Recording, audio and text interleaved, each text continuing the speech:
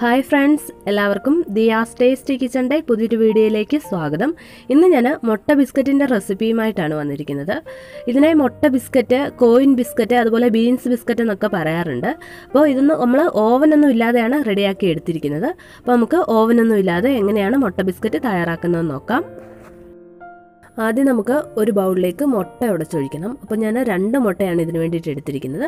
അപ്പോൾ നമുക്ക് ഈ മുട്ട ഇതിലേക്ക് ഉടച്ചൊഴിക്കാം ഇത് റൂം ടെമ്പറേച്ചറിലുള്ള മുട്ടയായിരിക്കണം. പിന്നെ നമ്മൾ ഇതിന് വേണ്ടിയിട്ടുള്ള ബാറ്റർ തയ്യാറാക്കുന്ന ബൗളിലൊന്നും അല്പം പോലും വെള്ളമൊന്നും ഉണ്ടാകാൻ പാടില്ല. അപ്പോൾ വെള്ളമൊക്കെ ഉണ്ടെങ്കിൽ ഇത് ശരിയായി വരത്തില്ല. അതുകൊണ്ട് തന്നെ ഒട്ടും വെള്ളമൊന്നും ഉണ്ടാകാൻ പാടില്ല. അപ്പോൾ ഞാൻ ബൗളിലേക്ക് രണ്ട് മുട്ടയും ഉടച്ചൊഴിച്ചിട്ടുണ്ട് ഇനി നമുക്ക് ഈ മുട്ട ഒന്ന് ബീറ്റ് ചെയ്തെടുക്കണം. അപ്പോൾ മുട്ട ബീറ്റ് ചെയ്തെടുക്കാൻ വേണ്ടിയിട്ട് ബീറ്ററൊന്നും വേണമെന്നില്ല. ഇതുപോലെ ഒരു വിസ്ക് കൊണ്ട് ബീറ്റ് ചെയ്തെടുത്താൽ മതി. ഞാനിപ്പോൾ ഒരു വിസ്ക് ഉപയോഗിച്ചിട്ടാണ് ഇത് ബീറ്റ് ചെയ്തെടുക്കുന്നത്. നമുക്കൊരു അഞ്ച് മിനിറ്റ് നന്നായിട്ട് തന്നെ ബീറ്റ് ചെയ്തെടുക്കാം. വിസ്ക് ഇല്ലാന്നുണ്ടെങ്കിൽ ഇതുപോലെ ഒരു ഫോർക്ക് ഉപയോഗിച്ച് വേണമെങ്കിൽ നമുക്ക് ബീറ്റ് ചെയ്തെടുക്കാം. ഇപ്പോൾ ഞാൻ ഈ മുട്ട നന്നായിട്ട് ബീറ്റ് ചെയ്തെടുത്തിട്ടുണ്ട്. ഇനി നമുക്കിതിലേക്ക് പഞ്ചസാര ചേർത്ത് കൊടുക്കണം. ഞാനിപ്പോൾ അരക്കപ്പ് പഞ്ചസാര ചേർത്ത് കൊടുക്കുന്നുണ്ട്. ഇത് പൊടിക്കാത്ത പഞ്ചസാരയാണ്. പൗഡേർഡ് ഷുഗർ ഉണ്ടെന്നുണ്ടെങ്കിൽ അത് വേണമെങ്കിലും ചേർത്ത് കൊടുക്കാം. എന്നിട്ട് വീണ്ടും ഇത് നന്നായിട്ട് ഒന്നുകൂടി ഒന്ന് ബീറ്റ് ചെയ്തെടുക്കാം. ഇതിപ്പോൾ പഞ്ചസാരയും ചേർത്തിട്ട് നന്നായിട്ട് ബീറ്റ് ചെയ്തെടുത്തു. എന്നിട്ട് ഞാൻ ഇതിലേക്ക് അര സ്പൂൺ വാനില എസൻസും കൂടി ഒന്ന് ചേർത്ത് കൊടുക്കുന്നുണ്ട്. എന്നിട്ട് വീണ്ടും ഒന്നുകൂടി ഒന്ന് ബീറ്റ് ചെയ്തെടുക്കാം. എഗ്ഗിന്റെ ആ ഒരു സ്മെല്ലൊന്നും ഉണ്ടാവാതിരിക്കാൻ വേണ്ടിയിട്ടാണ് നമ്മളിതിലേക്ക് വനില എസൻസ് ചേർത്ത് കൊടുത്തിരിക്കുന്നത്. അപ്പോൾ വനില എസൻസും ചേർത്തിട്ട് വീണ്ടും നന്നായിട്ടൊന്ന് ബീറ്റ് ചെയ്തെടുക്കാം. ഇത് വനില എസൻസ് ചേർത്ത് നന്നായിട്ട് ഒന്നുകൂടി ഒന്ന് ബീറ്റ് ചെയ്തെടുത്തതിന് ശേഷം നമുക്കിതിലേക്ക് ബട്ടർ ചേർത്ത് കൊടുക്കാം. ഇത് റൂം ടെമ്പറേച്ചറിലുള്ള ബട്ടറാണ് ഞാനിപ്പോൾ ഒരു രണ്ട് ടേബിൾ സ്പൂൺ ബട്ടർ ഇതിലേക്ക് ചേർത്ത് കൊടുക്കുന്നുണ്ട്. എന്നിട്ട് വീണ്ടും ഇത് നന്നായിട്ട് ഒന്നുകൂടി ഒന്ന് ബീറ്റ് ചെയ്തെടുക്കാം. നമ്മളിപ്പോൾ ബട്ടർ ചേർത്ത് കൊടുത്തതിന് പകരം നെയ്യ് വേണമെങ്കിലും യൂസ് ചെയ്യാം. രണ്ട് സ്പൂൺ നെയ്യ് ചേർത്ത് കൊടുത്താലും മതി.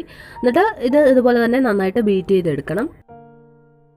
അപ്പോൾ നമ്മൾ ബട്ടറും ചേർത്ത് ബീറ്റ് ചെയ്തെടുത്തിട്ടുണ്ട്. അപ്പോൾ ഇനി നമ്മൾ ഇതിലേക്ക് ചേർക്കുന്നത് ബേക്കിംഗ് പൗഡറാണ് ഞാനിപ്പോൾ ഒരു കാൽ ടീസ്പൂണിനടുത്ത് ബേക്കിംഗ് പൗഡർ എടുത്തിട്ടുണ്ട്. അതും കൂടി ഇതിലേക്ക് ചേർത്ത് കൊടുക്കുന്നുണ്ട്. എന്നിട്ട് വീണ്ടും നന്നായിട്ട് ബീറ്റ് ചെയ്തെടുക്കണം.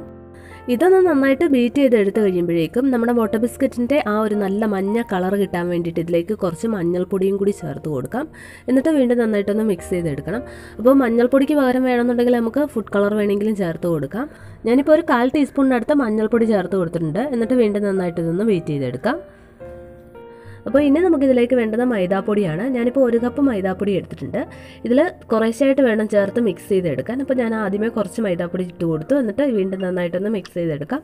അതിനുശേഷം കുറച്ചും കൂടി ചേർത്ത് കൊടുക്കാം. അങ്ങനെ രണ്ട് മൂന്ന് തവണയായിട്ട് വേണം മൈദാപ്പൊടി ചേർത്തിട്ട് ഇത് മിക്സ് ചെയ്തെടുക്കാൻ.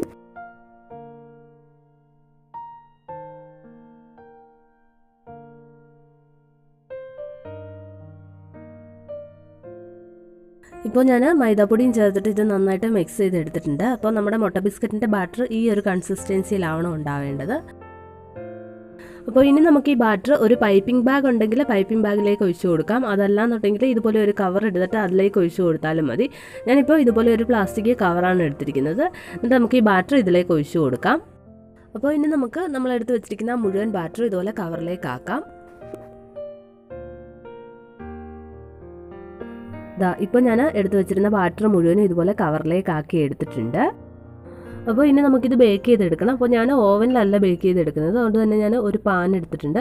പാനിൽ ബട്ടർ പേപ്പറും കട്ട് ചെയ്ത് വെച്ചിട്ടുണ്ട്. എന്നിട്ട് ബട്ടർ പേപ്പറിൽ കുറച്ച് ബട്ടറും തേച്ച് കൊടുത്തിട്ടുണ്ട്.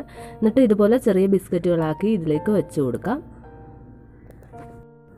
അപ്പോൾ നമുക്ക് ഇതിന് വേണ്ടിയിട്ട് രണ്ട് പാൻ വേണം. അപ്പോൾ ആദ്യത്തെ പാന് നമ്മൾ ചൂടാകാൻ വേണ്ടിയിട്ട് വെച്ച് കൊടുക്കണം. നമ്മൾ ഓവനിലാണെങ്കിൽ പ്രീ ഹീറ്റ് ചെയ്യുന്നത് പോലെ.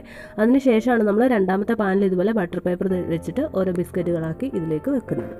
ഞാനിപ്പോൾ ഓൾറെഡി ഒരു പാൻ വെച്ച് കൊടുത്തിട്ടുണ്ട്. ആ പാനൊന്ന് ചൂടായി വരുന്ന സമയത്ത് നമുക്ക് രണ്ടാമത്തെ പാനിൽ ഇതുപോലെ ബിസ്ക്കറ്റുകൾ ഓരോന്നായിട്ട് വെച്ച് കൊടുക്കാം. ഇപ്പം ഞാൻ ബട്ടർ പേപ്പറിൽ ബിസ്ക്കറ്റുകളെല്ലാം ആക്കി വെച്ചിട്ടുണ്ട്. ഇനി നമുക്കിതൊന്ന് ടാപ്പ് ചെയ്ത് കൊടുക്കാം. രണ്ട് തവണ ജസ്റ്റ് ഒന്ന് ടാപ്പ് ചെയ്ത് കൊടുത്താൽ മാത്രം മതി. എന്നിട്ട് ഓൾറെഡി നമ്മൾ ചൂടാകാൻ വെച്ചിരുന്ന പാനിന്റെ മുകളിലേക്ക് ഈ പാനും കൂടി വെച്ച് കൊടുക്കുക ഇപ്പം നമ്മൾ ഫസ്റ്റ് വെച്ചിരിക്കുന്ന പാന നല്ല ചൂടാണ്. ഇനി നമുക്കിത് ലോ ഫ്ലെയിമിൽ വെച്ചിട്ടാണ് ബേക്ക് ചെയ്തെടുക്കുന്നത്. ഇതൊരു ഇരുപത് മുതൽ മുപ്പത് മിനിറ്റ് വരെ ആവും ഇതൊന്ന് ബേക്ക് ചെയ്ത് കിട്ടാൻ വേണ്ടിയിട്ട്. ഏറ്റവും ലോ ഫ്ലെയിമിൽ തന്നെ വെച്ച് കൊടുത്താൽ മതി. അപ്പോൾ ഇനി ഇതൊന്ന് മൂടി വെച്ചിട്ട് നമുക്ക് ബേക്ക് ചെയ്തെടുക്കാം. ഇതാ ഇപ്പോൾ നമ്മുടെ മുട്ട ബിസ്ക്കറ്റ് റെഡി ആയിട്ടുണ്ട്. ഒരു തേർട്ടി മിനിറ്റ്സ് കഴിഞ്ഞപ്പോഴത്തേക്കും ഞാൻ ഫ്ലെയിം ഓഫ് ചെയ്ത് കൊടുത്തിട്ടുണ്ടായിരുന്നു. എന്നിട്ട് ഇത് നന്നായിട്ട് തണുത്തതിന് ശേഷം വേണം നമ്മൾ ബട്ടർ പേപ്പറിൽ നിന്ന് അടർത്തിയെടുക്കാൻ ഇപ്പോൾ ഞാൻ ഈ മുട്ട ബിസ്ക്കറ്റ് എല്ലാം ബട്ടർ പേപ്പറിൽ നിന്ന് അടർത്തിയെടുത്തിട്ടുണ്ട് ദാ നല്ല പെർഫെക്റ്റ് ആയിട്ട് തന്നെ വന്നിട്ടുണ്ട്. അപ്പോൾ എല്ലാവരും ഇതുപോലെ ഒന്ന് ട്രൈ ചെയ്ത് നോക്കുക. ഇന്നത്തെ എന്റെ ഈ വീഡിയോ ഇഷ്ടമായെങ്കിൽ എന്റെ ചാനൽ സബ്സ്ക്രൈബ് ചെയ്യാനും വീഡിയോസൊക്കെ ഷെയർ ചെയ്യാനും മറക്കരുത്. ചാനൽ സബ്സ്ക്രൈബ് ചെയ്തിട്ട് അതിനടുത്ത് കാണുന്ന ബെല്ലൈക്കണിൽ പ്രസ് ചെയ്ത് നോട്ടിഫിക്കേഷൻ കൂടി എനേബിൾ ചെയ്യുക. അപ്പോൾ ഞാനിടുന്ന എല്ലാ വീഡിയോസിന്റെയും നോട്ടിഫിക്കേഷൻ നിങ്ങൾക്ക് കിട്ടുന്നതാണ്. താങ്ക്